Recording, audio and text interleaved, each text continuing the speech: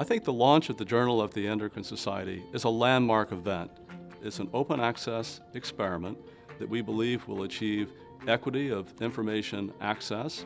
It will provide more rapid uh, publication for our authors and ultimately impact the field by disseminating information in basic clinical and translational uh, work as well as review articles. Once the papers are posted, they're available to anyone by searching through Google, PubMed, uh, any kind of search engine, and you've got immediate access to the entire article. Equity to information for anyone in the world, uh, regardless of their access to pay for the information. JES articles are cited uh, just like any other journal. Uh, they're published continuously, but they're ultimately given a volume number, page numbers, so all of that can be uh, cited later on. One thing that's very important to authors is to have their work published as soon as possible.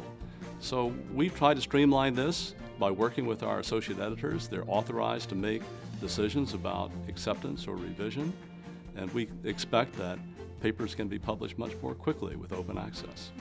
I think JES is a game changer. Open access will open our publications, our scholarly work, to the entire world.